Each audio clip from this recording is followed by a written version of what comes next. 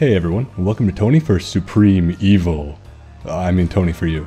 Many people think they understand Lucifer. Lucifer and Satan are prevalent entities in religious texts and Shin Megami Tensei, but many don't truly understand the importance of them, and some even think they're the same. Lucifer and Satan are so important to Abrahamic religions that it would be impossible to discuss everything about them, but we'll go over the most important and relevant stories regarding the characters in the Bible and associated texts.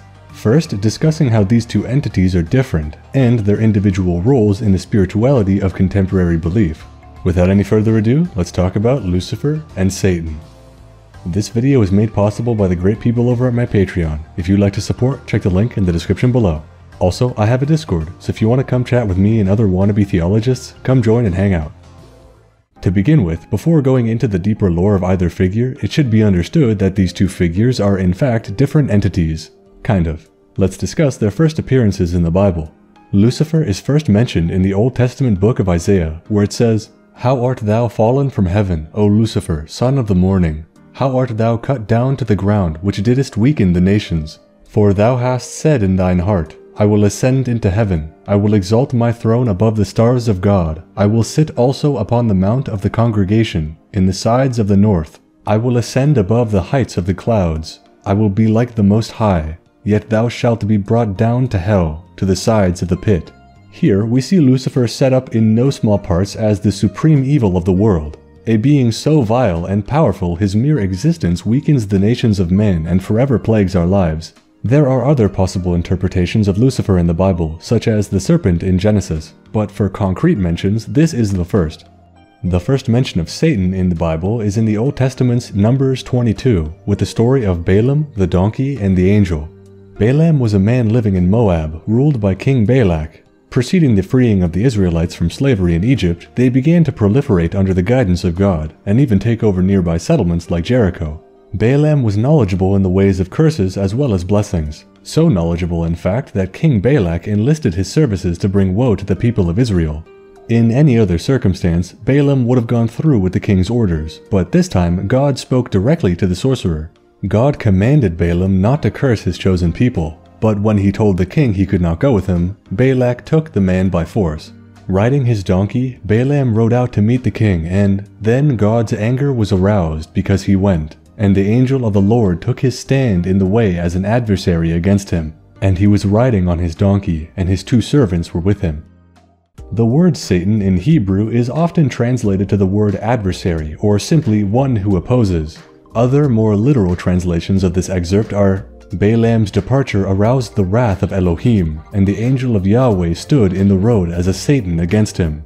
This angel stood in the way of Balaam, with his sword drawn, and when the sorcerer noticed him, he bowed to the ground and said, I have sinned, for I did not know you stood in the way against me. Now, therefore, if it displeases you, I will turn back. The angel instructed Balaam to go along to King Balak, but only speak the words the Lord puts in his mouth.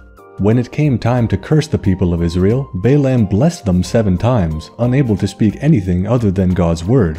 From these stories, it's easy to understand that these two beings are separate entities. Lucifer is clearly portrayed as a being wholly against the will of God, and does everything in his power to destroy and tempt humans. Where the second stories, Satan was explicitly an agent of God, sent to convey his message and protect the blessed Israelites. In later stories from following biblical books, there are other entities carrying the title of Satan, in considerably less benevolent circumstances. The book of Job centers around an angel questioning or opposing God's faith in a particularly holy human named Job. God spoke of Job in glowing praise, describing how virtuous he is to all the other angels in heaven. One particular angel confronts God, arguing that Job is not virtuous because he is a good man, he is simply virtuous due to the blessings of God given to him from birth. Now donning the title of the Satan, the angel argued that if Job faced considerable hardship, his faith would surely falter. God decided to keep his faith in Job and allowed this Satan to do with Job's life as he pleased. Satan set to work torturing Job and dismantling his very life. You can learn more about this book in my Mastema video, who may be the Satan in this very story. Ultimately, we can come to the conclusion that Satan isn't even an entity per se, simply a title donned by one who opposes. From context, we can surmise that Satan is specifically used in religious circumstances, for angels or agents of the Lord. Lucifer, on the other hand, is clearly only one entity. With the stories explaining Satan established, let's explain Lucifer for contrast. Before Lucifer was a prince of darkness, he was a being residing in the seventh layer of heaven, God's throne.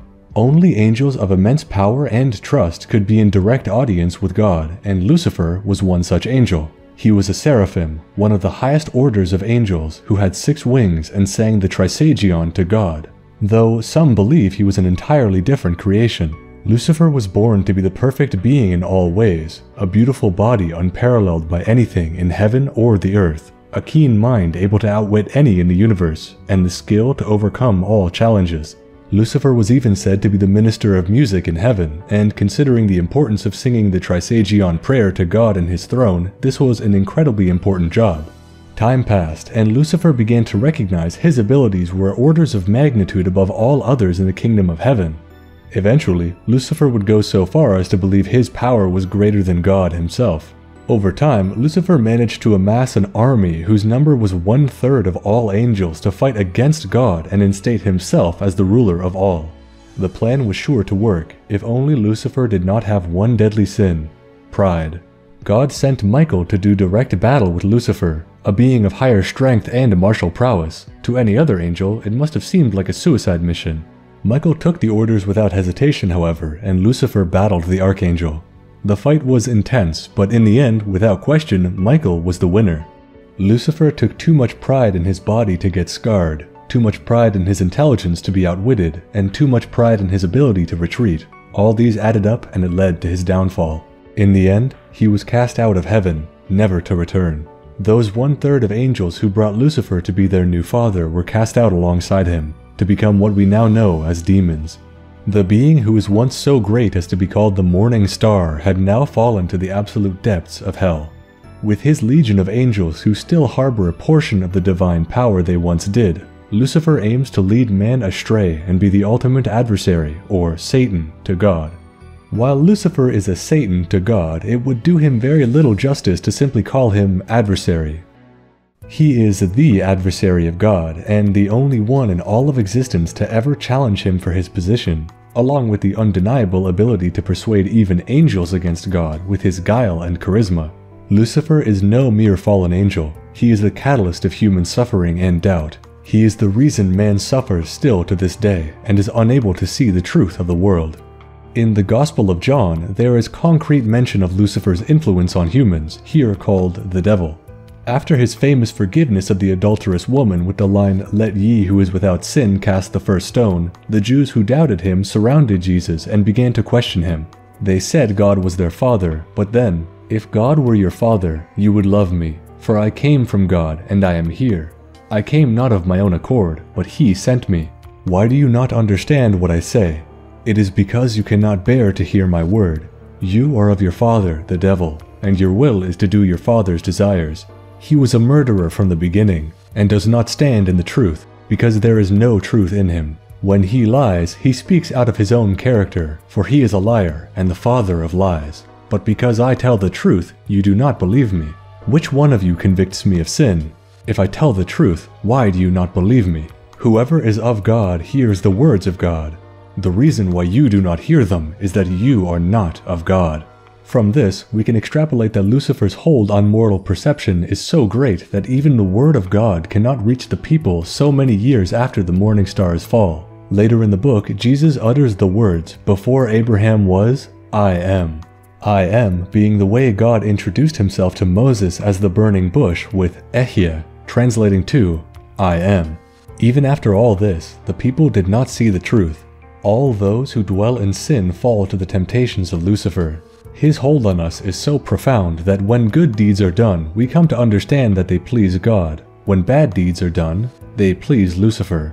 And yet the temptation of sin, to some, is much more alluring than any good deed. While Satan could be any adversarial agent of God, he isn't necessarily evil. As portrayed in Numbers, this can be one who opposes those who would do God's people harm, though that term was rendered antiquated by the time of Jesus. Where Satan was a term used once for many entities, more recently, Jesus seems to have been the last heavenly being brought upon the earth to oppose the will of tempted humans, though Revelations is still yet to occur. The next major event prophesied to come is in one such book of Revelation. The seals on the scroll of God would be broken, the four horsemen would ride and destroy the earth, and then God would create a new heaven and a new earth. In Shin Megami Tensei, Lucifer is portrayed as a less objectively evil tempter and more in a mix of the Gnostic and Abrahamic interpretations of him. The Gnostic interpretation being that the supreme being of our world is simply the creator of Earth, Earth being the world of strife and suffering, the creator of it, therefore, must be evil, while the true Father is something greater, something beyond. You can learn more about that in my Demiurge video. Lucifer's aim is to set humanity free from their bonds to Yahweh and create a world where they can rule. Though oftentimes this involves a strict survival of the fittest mentality, so he may not be as benevolent as he first appears. He is the Prince of Lies after all. To understand his design, we must ask what type of angel was Lucifer? I lightly touched on it previously. Well, that's a really difficult question to answer. From what we know, Lucifer believed himself to be greater than God, and was said to be the most beautiful creature to have ever lived. Master of music and all things pleasing, presumably he had some power in the kingdom of heaven, and was in relatively close proximity to God. With his multiple wings and power comparable to the strongest of the nine orders of angels, leads me to believe he was a seraphim, Lucifer means light and is symbolically the morning star, so it would make sense that he is one of the burning ones. Now, not burning with God's light, but burning with envy and wickedness.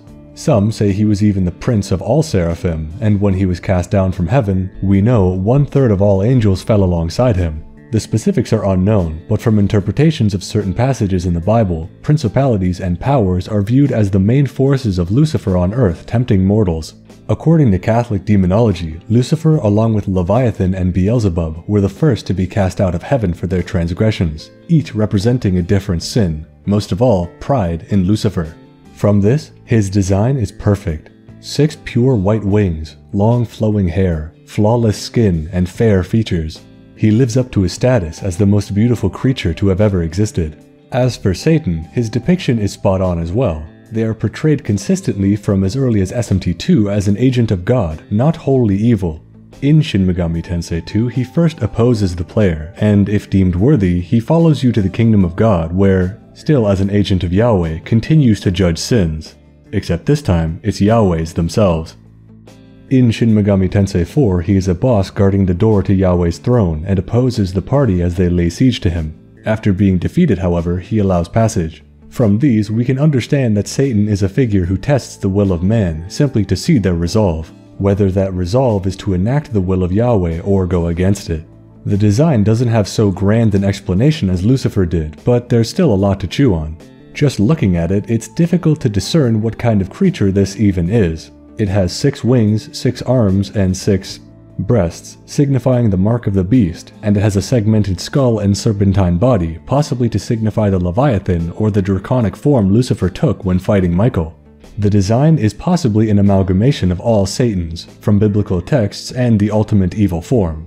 I love the design either way, and these two characters are the first demons I think of when I think of Shin Megami Tensei. Well, that wraps up Lucifer and Satan. This video was a long time coming, and I'm glad I could finally talk about them. With them being so important to life in Abrahamic religions, I was surprised at how much there was to learn about them still. Let me know what you learned of Lucifer and Satan in the comments down below, and while you're down there, leave a like and subscribe if you haven't already. Special thanks to Anton, Big T, Ender Ladius, Frankie Stoned, Goose Kebab, Jim Taylor, Just a Middleman, Konyuna, Matt M, Mr. 8 Eyes, The Digital Dutchman, The Toaster Messiah, Video Gamer 75 and many more for supporting the channel on Patreon. If you'd like to support, check the link in the description below. Thanks for watching this supremely evil Lucifer and Satan lore explained, and I'll see you in the next Tony for You. Have a good one.